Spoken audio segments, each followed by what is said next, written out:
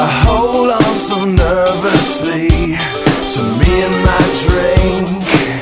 I wish it was cool in me, but so far has not been good. It's been shitty, and I feel awkward as I should. This club has got to be the most pretentious thing since I thought you and me.